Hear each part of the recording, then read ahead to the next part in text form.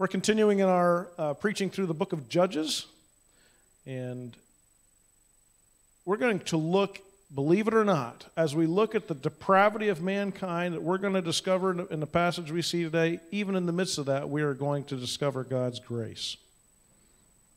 Now, it is always a challenge to raise children. Would anybody agree with that? Yeah.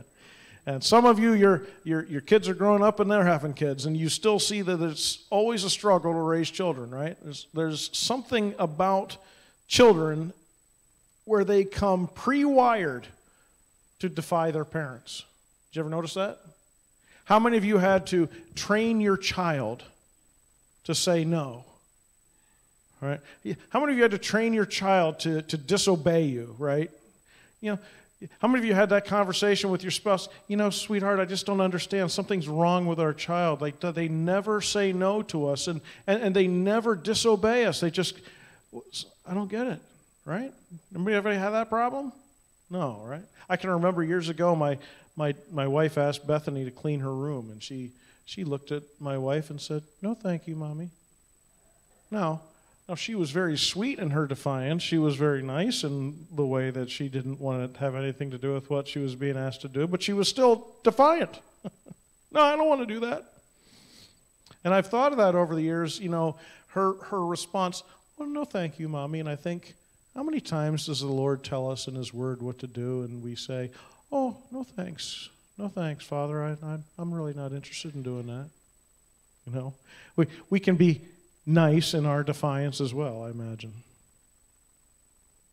And my daughter's act of defiance might have been a very minor thing, but it still displays a character of the heart that even in an early age is one of rebellion. We are born with that, that heart, that inclination that wants to go against God's law.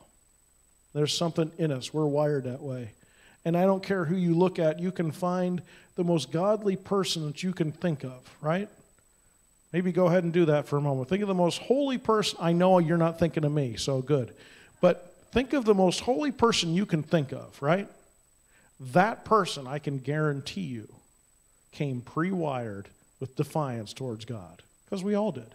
We all have that same inclination. We would, left to ourselves, we would rebel against God every single day. It's the way we're wired.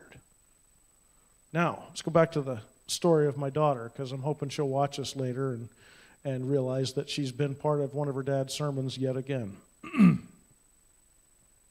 she showed her little act of rebellion as a child, and we loved her. And if she had grown up and committed heinous crimes and felonies, we would have surely been disappointed, but we would have loved her, right? We love our kids no matter what they struggle with, no matter where they go, no matter what they do, no matter what things they're involved in. We love them because they're our kids, right? And we should. Well, as we dive into this account of the people of Israel, we're going to find God's children are defiant children, and it's going to be instructive for us to see how God deals with defiant children. Okay? So that's where we're going. Judges 2 16 through 23 is our text this morning. Then the Lord raised up judges who saved them out of the hand of those who plundered them. Yet they did not listen to their judges, for they whored after other gods and bowed down to them. They soon turned aside from the way in which their fathers had walked, who had obeyed the commandments of the Lord, and they did not do so. Whenever the Lord raised up judges for them, the Lord was with the judge, and he saved them from the hand of their enemies all the days of the judge. For the Lord was moved to pity by their groaning because of those who afflicted and oppressed them. But whenever the judge died, they turned back and were more corrupt than their fathers, going after other gods, serving them and bowing down to them. They did not drop any of their practices or their stubborn ways. So the anger of the Lord was kindled against Israel, and he said, Because this people have transgressed my covenant that I commanded their fathers and have not obeyed my voice, I will no longer drive out before them any of the nations that Joshua left when he died in order to test Israel by them whether they will take care to walk in the ways of the Lord as their fathers did or not. So the Lord left those nations, not driving them out quickly, and he did not give them into the hand of Joshua.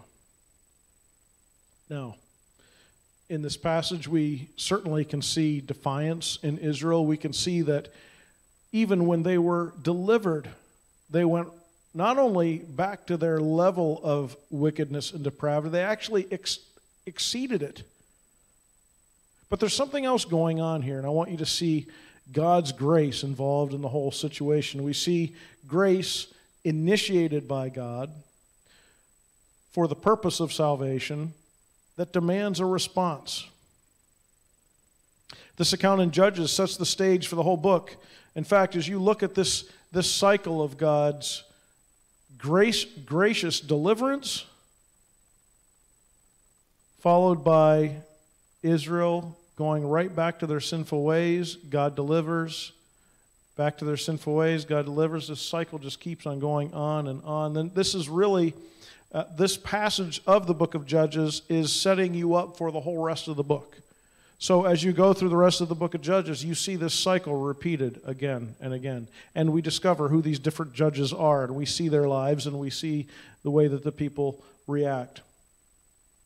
So we'll see this cycle of depravity. And uh, again, it will emphasize just how much the people of Israel rebelled against the covenant that they had made with God. And yet, even in the midst of this book, we see something amazing about our God. We see that He is a gracious God.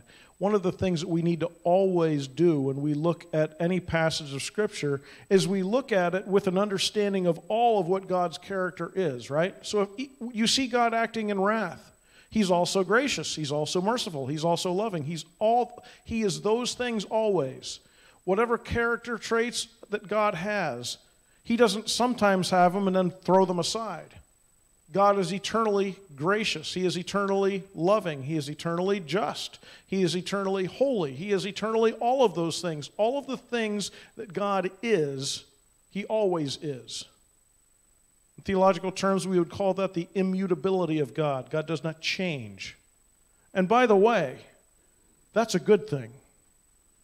That's a good. We don't have a God who we wonder if his salvation, if he meant it when he offered it before, or is he going to yank it away from us? When God forgives our sins, does he decide tomorrow, I'm not going to forgive your sins? Right? We count upon God's faithfulness. We count upon the fact that his character and his nature is unchanging. We sang it this morning Great is thy faithfulness. He, we know him to be faithful because he is consistently always who he is. There is no shadow of turning with thee. Thou changest not thy compassions, they fail not. As thou hast been, thou forever wilt be. Amazing how much good theology is right there in that hymn we sang today. Let's take a look at Psalm 103. Again, get an understanding from this other portion of Scripture about the character and nature of God as you view the, this other passage in Judges that talks about his judgment and how he deals with his people. Psalm 103, 8 through 14. What do we find out about the Lord? The Lord is merciful and gracious, slow to anger, and abounding in steadfast love. He will not always chide, nor will he keep his anger forever. He does not deal with us according to our sins, nor repay us according to our iniquities. For as high as the heavens are above the earth, so great is his steadfast love toward those who fear him. As far as the east is from the west, so far does he remove our transgressions from us.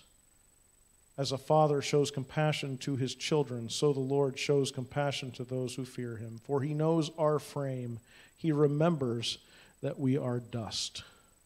What a beautiful picture of the character and the nature of God. And so when we see, well, God brought wrath upon this people or that people, understand that he also is gracious and compassionate, slow to anger. And so if he's poured out his wrath, Prior to that, we can discover that he's actually been merciful and patient, but he's also just. And so he can't let sin be unpunished.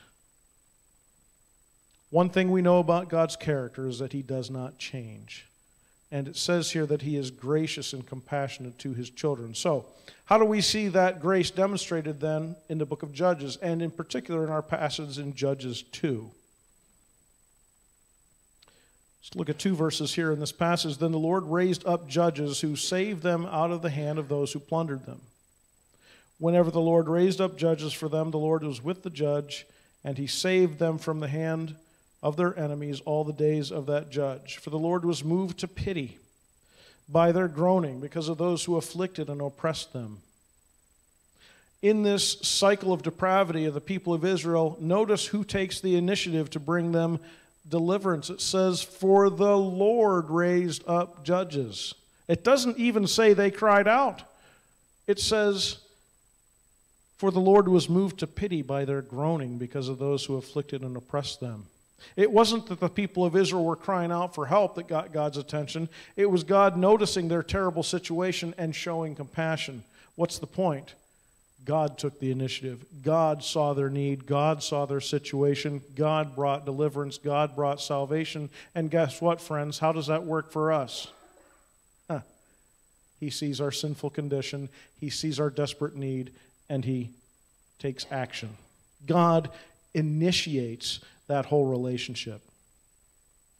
Now, it's interesting that the people that God is showing compassion to, the people that God is hearing their groaning and they're crying out for help, it's not the kind of people you'd look at and say, well, they really are deserving for God, for God to help them, right? I mean, verse 19 is really, really helpful eh, for us to see just how wicked they were. Whenever the judge died, they turned back, were more corrupt than their fathers going after other gods, serving them and bowing down to them. They didn't drop any of their practices or their stubborn ways. No, they just added to them.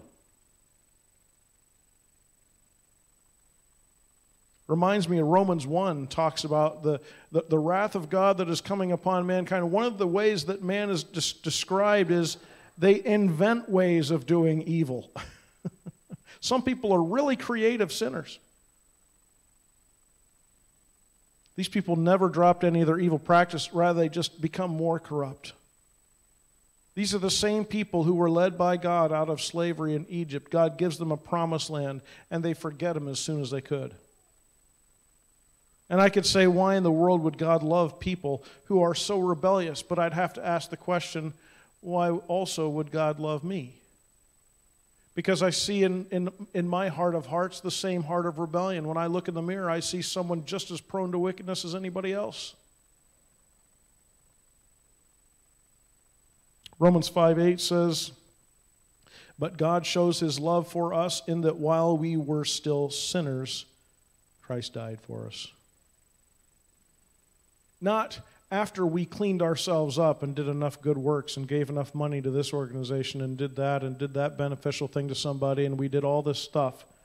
No, no, no, no, no, no. While we were still sinners, while we are in the midst of our greatest rebellion, God says, I'm sending my son to die for those people and offer salvation. The love that we receive, we do not deserve. And so no one has a right to be proud of his standing as a Christian because none of us deserved it.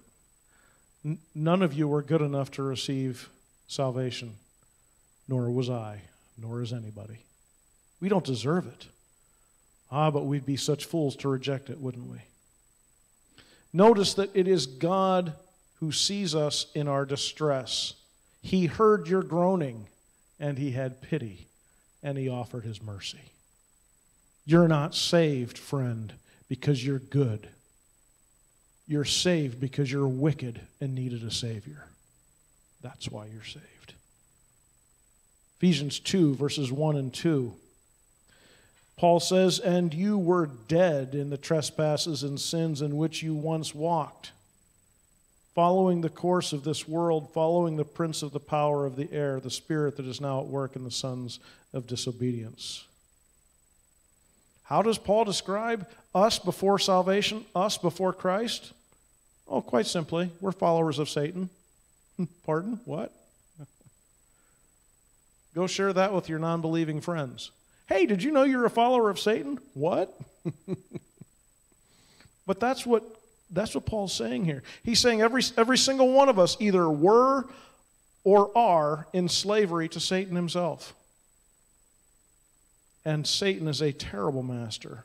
He offers things that he doesn't deliver on. He offers freedom while he keeps you in chains. So many people, they think, well, I wouldn't want to be a Christian. I couldn't have any fun. They just haven't come to Troy Baptist. We have fun. We even eat good. Come on now.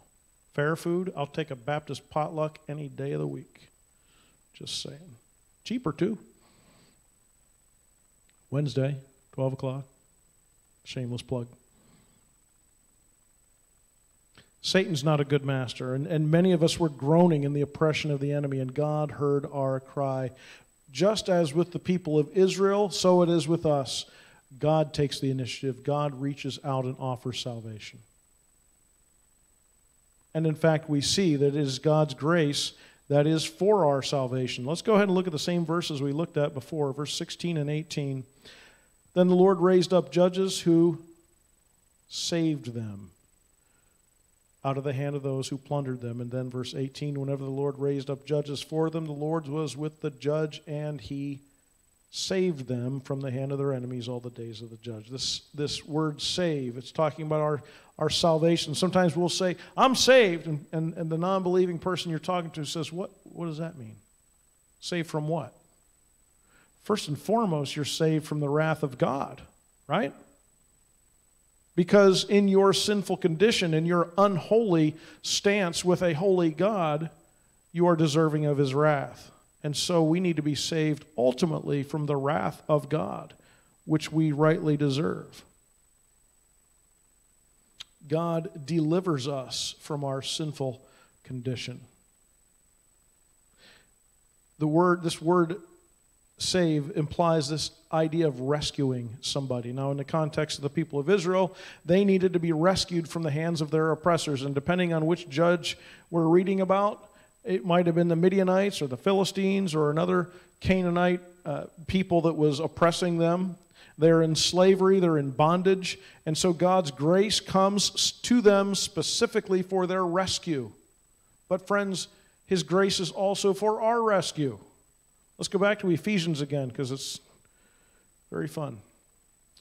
Verses 4 through 9 from Ephesians chapter 2. Listen to some of this language. This is just rich, powerful language from the Apostle Paul. Hear how he describes God. But God, being rich in mercy, because of the great love with which he loved us, even when we were dead in our trespasses, made us alive together with Christ. By grace you have been saved, and raised us up with him and seated us with him in the heavenly places in Christ Jesus, so that in the coming ages he might show the immeasurable riches of his grace in kindness toward us in Christ Jesus. For by grace you have been saved through faith, and this is not your own doing, it is the gift of God, not a result of works, so that no one may boast. By grace, we have been saved. We have been delivered from our sinful condition. We have been delivered from our destiny of eternal judgment. Both the people of Israel and the people of today need salvation. We need to be rescued from our trespasses or sins. And one of the biggest tragedies today is that we don't seem to see our own need of salvation. So many people today look at their own works, they look at their own efforts, and they say, I'm pretty darn good. God's going to have to let me into heaven. I mean, after all, look at all the stuff I've done. Well, wait a minute. Paul says it's not a result of work, so it really doesn't matter how nice your works look, does it? And why? So that no one may boast. If you get into heaven because of what you do, then who gets the credit? You do. But Christ didn't die so that you could get the credit, did he? Christ did the work. Christ gets the honor. Christ gets the glory. And Christ is the one who provides the salvation, not us. There are going to be many people not in heaven and maybe shocked because they thought they did so many good things. And God says in His Word, the only thing that you're to do is to receive my free gift. But instead of simply receiving it humbly, you determined I'll be good enough on my own. I don't need your gift. Thank you so much. I'm good just the way I am. And he'll say, Depart from me. I never knew you. It's not about works, it is by grace we have been saved. Notice in that passage, just in, in verses 4 through 9, Paul repeats that phrase, by grace that we it's by grace we have been saved twice. Anytime the Bible repeats stuff, it isn't because God forgot to say it before. He's emphasizing it so we get the point. It's by grace we've been saved. It was by grace that the people of Israel found salvation from their oppressors, and it is by grace that you will find salvation from your sin. Now, we can look at the book of Judges, we can see people worshiping idols, even sacrificing their children in the fire. It is grotesque, it is horrifying to even think of.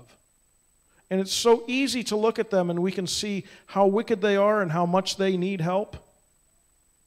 We can look at family members and say, oh, they're wicked, right? We go to family reunions and we could say, oh my goodness, Lord needs to bring a lot of heal, salvation here, right? There's a lot of sinners here. But we fail to see our own need. We ought to be, we ought to be the most humble people on earth. We ought to daily remind ourselves I am nothing but a sinner saved by the grace of God. Without His grace, I'm eternally doomed. if our works could save us, we'd already be saved. And more significantly, if our works could save us, then Christ would not have come to save us. Can you imagine what a horrible tragedy it would have been if Christ was crucified? In the, the very Son of God tortured and crucified in such horrendous, awful way if somehow it was unnecessary? If we could be good enough and save ourselves, then that makes the crucifixion not a good story, not an inspiring thing, but actually an act of horrendous hatred by God the Father towards his own Son.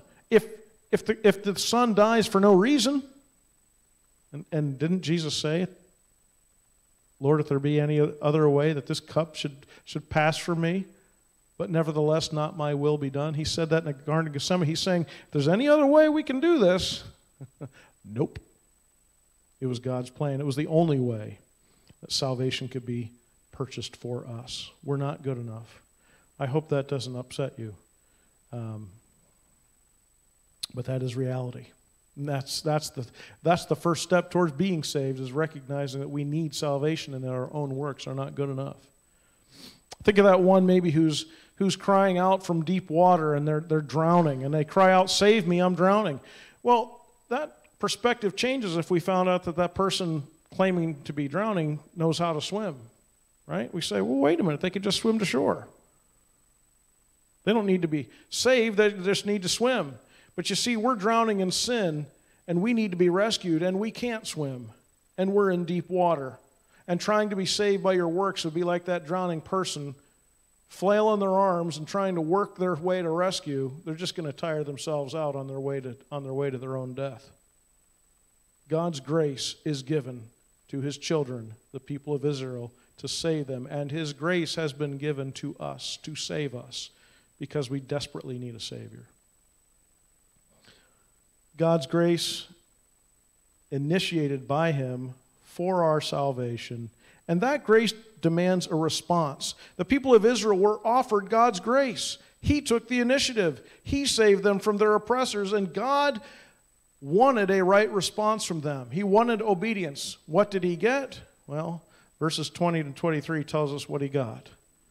The anger of the Lord was kindled against Israel, and he said, Because this people have transgressed my covenant that I commanded their fathers, and have not obeyed my voice, I will no longer drive out before them any of the nations that Joshua left when he died, in order to test Israel by them, whether they will take care to walk in the ways of the Lord as their fathers did or not. So the Lord left those nations, not driving them out quickly, and he did not give them into the hand of Joshua. God's offer of grace was not met with thanksgiving. It was not met with obedience, but rather it was met with even more sin, more disobedience, and even greater rebellion. How tragic. It isn't that they couldn't see God's loving hand, God sent judges to save them. But they rebelled against the knowledge that they did have and his gifts of grace. You would do well to turn to Romans 1 later on today. Do a study of Romans 1 and, and, and, and think about what God wants mankind to respond to Him. Part of the reason that God's wrath comes upon mankind, Paul says in Romans 1, although they knew God and saw, saw all of the things that He created, they, they neither gave Him glory or th- they, they did not acknowledge Him or give Him thanks. God wants for us to show him gratitude. And we display that gratitude in our obedience. Did God get that response? No, not at all. But God's grace always requires a response. God does his part, and we need to respond properly to the grace that's been offered to us. It is a lie of the enemy to believe that God's ways are not for our good. God offers grace. He wants us to respond and receive his gift of salvation. And I think the most tragic thing is there are people who have heard the story again and again and again. They've sat in a church pew, they've talked to some godly person, they've heard the message of the gospel, and they say, That's a really nice story. And they go home and, and, and never respond. And just like God left the people of Israel, He left those other nations to continue to harass them. If you want to reject God's offer of grace, you can continue to live in the same bondage that you're in. He'll let you live there. It is amazing how the world around us reacts to God's offer of grace as if it would mean the death of anything good in our lives. Interesting story. In 1981, a Minnesota radio station reported a story about a stolen car in California. Police were staging an intense search for the vehicle and the driver, even to the point of placing announcements on local radio stations to contact the thief. On the front seat of the stolen car sat a box of crackers that, unknown to the thief, were laced with poison. The car owner had intended to use the crackers as rat bait. Now, the police and the owner of the VW bug were more interested in, in apprehending the thief to save his life than to recover the car. So often, when we run from God, we feel it's to escape His punishment, but what we're actually doing is eluding His rescue. He's offering us grace, and we run. What are we doing? I love the story we find in the Gospels where Jesus had preached some pretty harsh words, and, and, and people were leaving in droves. It was when Jesus said, My my flesh is real food and my blood is real drink. And if you don't eat my body and drink my blood, you have no part in me. And people in droves begin leaving, right?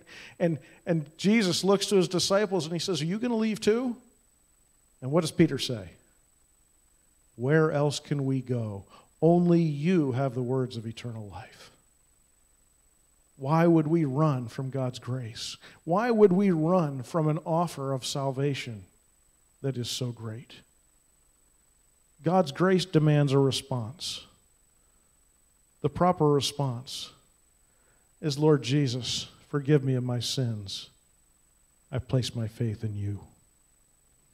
This Old Testament book of Judges teaches us quite a bit about the character and the nature of God and also the character and nature of mankind. God looks at us and offers grace. Grace is initiated by God. He sees us in our groaning and offers grace. And that grace is offered to rescue us from that sin. It is for our salvation. And friends, God offers His grace. If you're hearing this, you're hearing an offer of grace. What a foolish thing it would be to hear an offer of grace and not respond with gratitude, with repentance, with faith, with obedience. Let's pray. Lord Jesus, we thank you for your word. We thank you for how we see, even in, a, in an Old Testament story of your people in Israel, all the way through your word, we see this demonstration of your character, and it is your character and your nature to show compassion and grace to sinners. Lord, I pray that anyone who would hear this message either right here in this room or, or watching it on a video or whatever, Lord, if, if there's anybody who hears this message and needs to be forgiven of their sin and have right relationship with you, Lord, that they would receive that offer of grace, recognizing it is by grace we have been saved through faith, and this not our own doing, it is the gift of God, lest any man should boast. But I pray that we would have that right response of repentance and faith in you. And I pray this in Christ's name. Amen.